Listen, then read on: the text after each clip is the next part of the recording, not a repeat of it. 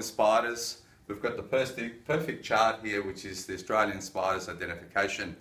So the most common spiders that we have here is your redback spider. How to identify a spider? Um, the redback spider has got a red uh, line in the back of the body, which is the abdomen, and basically um, that's one way of identifying that particular spider. Then you've got the white-tailed spider, which has got a white tip on the back of its abdomen. Uh, the huntsman, the huntsman is a, a hairy uh, brownish color depending on what process of its life it's going through.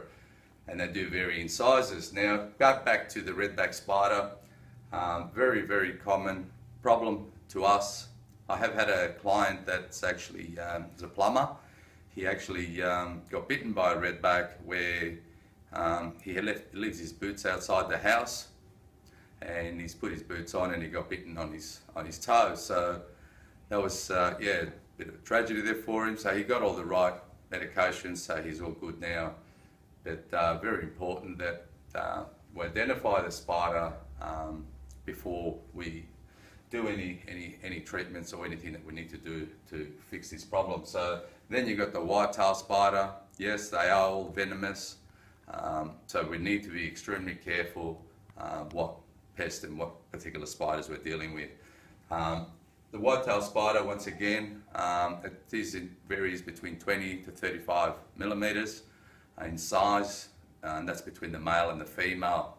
Um, definitely um, a tracking spider which lives on other insects and they don't web of course so you do find them throughout different areas for the home. Uh, linen is the most common one in bedding, sheets, cupboards and so forth. So if you're having any of these problems, or huntsmen, huntsmen can track X amount of homes overnight, which um, they do travel a fair, fair way for their prey. Um, the most important thing is if you're having a problem with any of these spiders and you're not sure which ones they are, uh, please feel free, contact us, we're here to help. Uh, so yeah, please give us a call. Thank you for, for listening.